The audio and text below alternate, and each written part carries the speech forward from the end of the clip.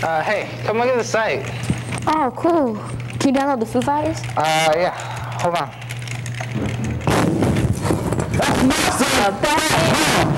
What did I do? You know it's illegal, download copyrighted music. I'm taking you in.